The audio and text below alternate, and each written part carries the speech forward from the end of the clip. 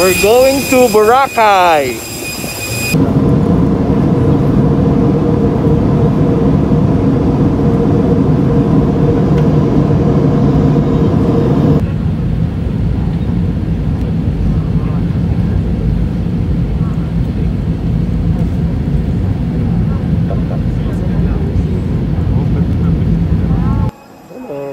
Na kami ngayon sa Katiklan Airport, Boracay.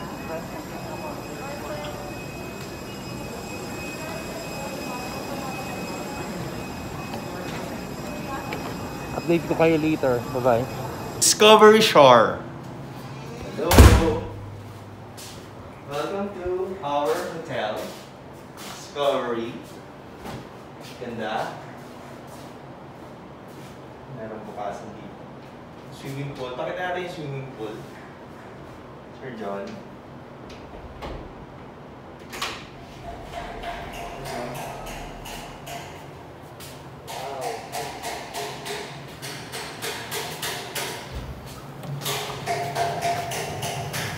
place. Sobrang ganda. Ganda. Ganda. Hello! Yan, dito kami ngayon sa Boracay. Naghahanap ng makakainan. Grabe, gutom na gutom na ako. Naghahanap ng makakainan. Ayan, ito may bukas na restaurant. Kain muna kami. Bye-bye.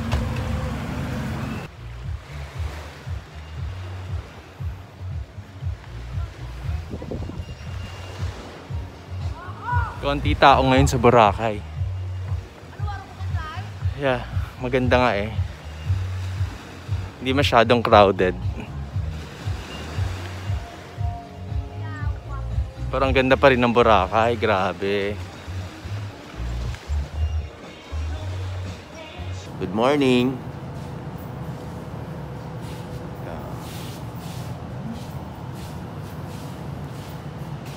Kagigising ko lang. So ito, maghanap kami ngayon ng makakainan sa labas.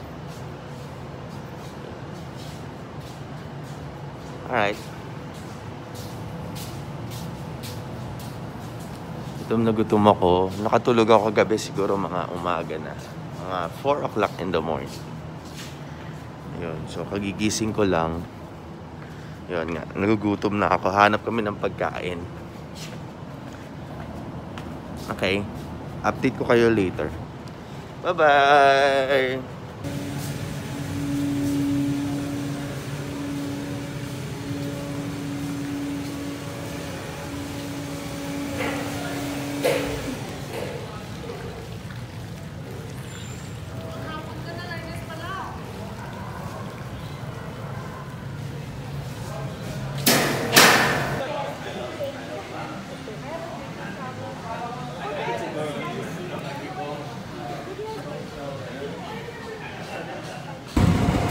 Hi guys! Wala kaming mahanap na kainan sa beachfront. So, nag-decide kami na pumunta sa Timon. Kasi doon maraming mga kainan. So, naka-tricycle kami ngayon. Ah, mahigpit dito sa Boracay. So, kailangan required talaga yung face shield at saka yung face mask paglalabas kayo or pag pupunta kayo sa mga establishment yon kailangan required na naka-facial kayo. Pero kapag maglalakad lang naman kayo sa beach or sa bu- buhangin sa beachfront okay na yung ah, mask. Yan. Ayun. Ano? Tricycle kami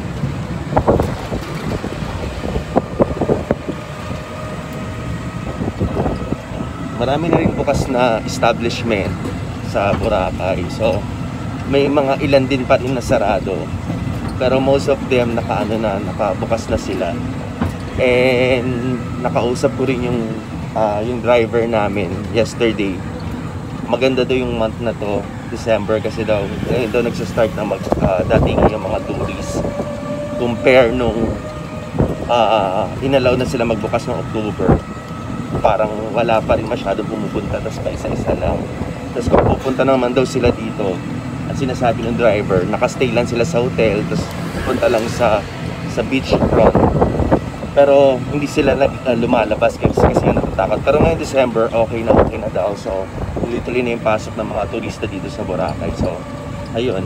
Kaya uh, marami na rin nagpas na establish. Pero may din sila sa protocols.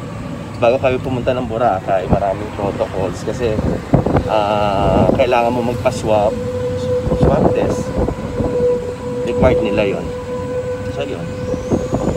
So nandito na kami sa Timol. So update ko kayo later ulit. Okay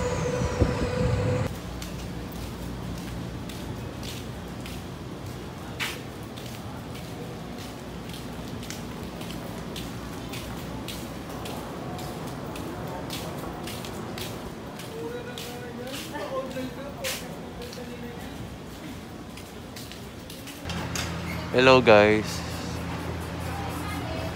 Yun, nakahanap na kami ng makakainan. Walaan nyo ko saan. Yeah, sa Andox.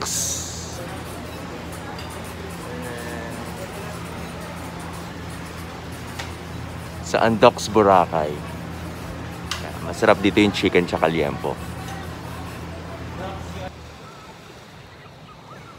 Hello everyone! Dito ako ngayon sa Boracay. Yan, sobrang ganda dito. Na-miss ko yung Boracay. Yan. Sobrang ko itong na-miss.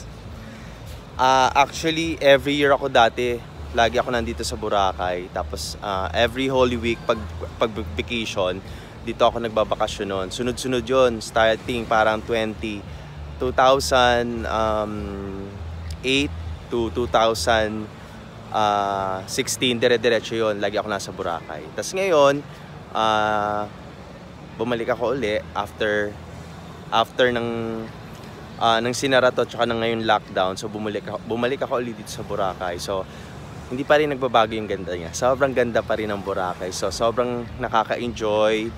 Sobrang nature trip talaga. Ang ganda ng, alam mo yon marirelax ka. Sobrang ganda ng ng pakiramdam mo uh, yung marinig mo lang yung yung tunog ng alon ng dagat, yung huni ng ibon. So parang nakaka uh, para ka nare-relax, nakakalimutan mo yung mga problema mo sa buhay. Tapos uh, ayun, uh, parang uh, yun, parang makapagdagdag ka din ng ano, uh, parang madag, madagdagan din yung ano mo, uh, parang creativity mo. Kasi minsan kapag sobrang sobrang work ka na ng works, minsan hindi mo na alam na, di ba, masyado ka nang napapagod, hindi ka nakakapag-isip ng tama, hindi ka nakakagawa ng uh, magandang mga ideas, o kaya hindi ka nakaka-create ng magandang, uh, for example, ako songwriter, so minsan hindi na ako makaka-create ng, ng song kasi parang yun at yun lang ang nakikita kong place. So ngayon, nung nandito ako ngayon sa Boracay, parang na-recharge ako tapos parang nagkaroon ako ng bagong ideas, sa mga songs, sa music production. So yun, nakakatulong talaga kapag uh, paminsan-minsan nagbabakasyon ka, nagbe-break ka. Parang kailangan din yun ng sarili mo. So yun, ang ganda dito, sobra. Tingnan mo.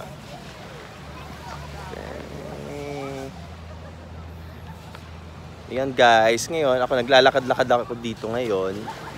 Uh, ini-enjoy ko yung Boracay. Sobrang na-miss ko siya. Siguro mga 2 years akong hindi nakapunta dito kagaya ng sinabi ko last uh, kanina na every year ako dati. So ngayon parang uh, na-amaze pa rin ako sa ganda niya. Sobrang ganda pa rin talaga ng Boracay. Tsaka yun, um, ngayon pandemya, konti lang yung nagpupunta ngayon dito kasi nga pandemya pa. Pero open up sila dito ngayon for tourists. Tapos uh, meron silang protocols lang na dapat sundin, guidelines bago ka makapunta dito. So, yun nga, uh, kailangan mo magpa-swab test. Kailangan mo mag-fill up ng uh, Boracay uh, health declaration. Tapos, uh, yun. Tapos may mga QR code sila na, dap, na, na, na dapat mong fill upan para for contract trace, tracing. Tapos dito sa Boracay, mahigpit din sila. Kailangan nagpa-practice pa rin ng social distancing, uh, naka uh, mask ka pa rin, and then naka face shield ka So ako ngayon hindi ako nakamask kasi wala namang masyadong tao. So ako lang yung nandito. Pero pag may mga tao, ah, dapat obligado kang mag-face mask and mag-face shield. Ayun. Sige. Thank you guys. Later naman, mamaya naman. Thank you. Bye-bye. Hello. Hello. Hapon na dito sa Boracay. So, ang ganda na ng bagsak ng araw. Yun. So, gumaganda na siya. So, dito ako naka-check-in sa Discovery Shore. Ah, yun. Trying um, kailangan mag-enjoy kasi ang dami na nangyari. So, so parang ah, ang daming problema, ang daming ah, mga da- mga bagay na iniisip. So, feeling ko kailangan kong mag-recharge.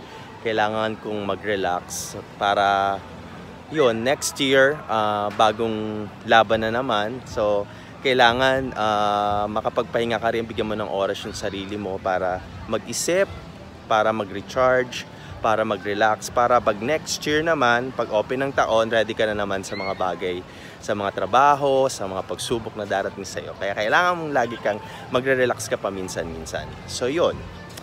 So, enjoy ko muna yung Boracay, guys. Bye-bye. Hi guys, dinner na kami. Kain kami now. Ayan.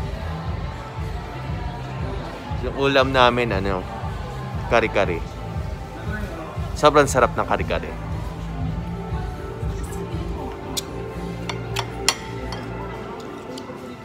Sarap. Grabe.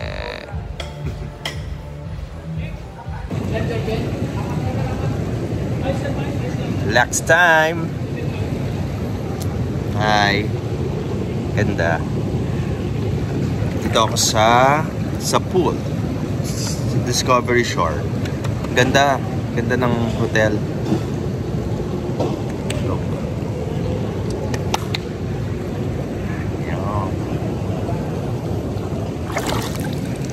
Ligo na ako. Thank you guys. Later ulit. Swim time, swimming time. Relax, relax muna.